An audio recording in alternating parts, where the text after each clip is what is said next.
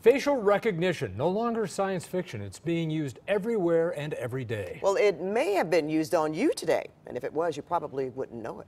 Yeah, tonight, Kristine Lazar and two on your side investigating facial recognition and, of course, the privacy problems that come along with that.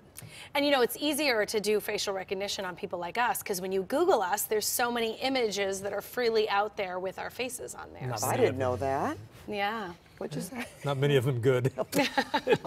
They'll find you though, even with a bad photo. Now, facial recognition can be a powerful security tool, but it also carries risks. One local company is at the forefront of this technology, and they showed us the future of facial recognition. Your face. There's no other one exactly like it.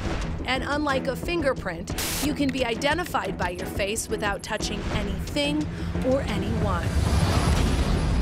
Our goal is ultimately to teach cameras to see like human beings. Shaun Moore is CEO of TrueFace. His company specializes in facial recognition technology. I think it will be widespread in five to 10 years. TrueFace led us into their Venice office and showed us how the technology works, starting with how most of their clients use facial recognition as a way to allow access to secure locations. It's actually recognizing our faces right now as people that are allowed to enter the office. TrueFace added my face, which they got by Googling me, to a database of those allowed into the building.